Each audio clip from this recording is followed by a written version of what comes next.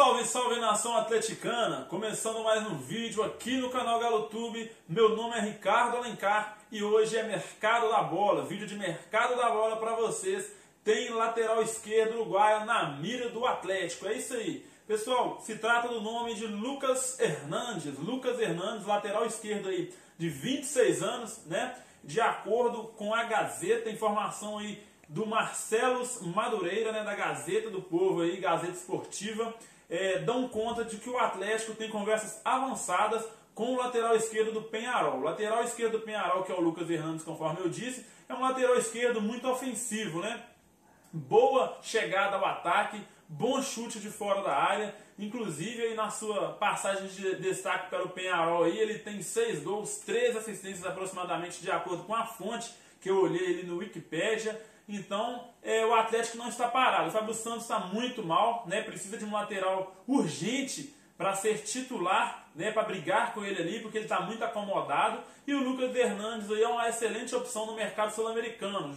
Uruguaio ainda tem é, 26 anos apenas, pode ser valorizado, pode ser vendido daqui uns anos, se for bem, né? Já que o Sete Câmara gosta de vender um um reforço quando a gente traz aí, né? Ele valoriza um pouco já vende, né? Eu vejo que não é bem assim, tem que deixar o jogador evoluir, tem que deixar o jogador aí mais tempo, mas esse lateral esquerdo aí, se chegar mesmo, é um jogador que já vem é, para jogar, não precisa pegar é, aquele, aquela cancha, né? Igual o Guga, igual o Emerson, né? Que veio da base. Lateral já, já foi campeão Uruguai duas vezes pelo Penharol, né? Já foi campeão da Superliga, da Supercopa Uruguaia. Então, lateral que chega pronto. Se chegar, chega pronto. Seu valor aí, de acordo com o Transfer Market, é de 1 milhão de euros, aproximadamente 4 milhões de reais, né? E de acordo com a reportagem, vou estar deixando o link aqui na descrição, é, já tem conversas avançadas e o jogador deveria chegar nessa pausa aí para a Copa América. Então vamos aguardar se a notícia é verídica, se realmente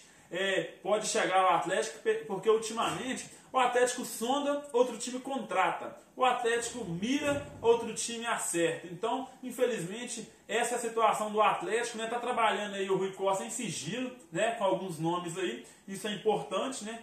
O Rui Costa não está parado nos bastidores. Tá atrás aí desse lateral esquerdo. Tem conversado aí com o staff do Roger Guedes.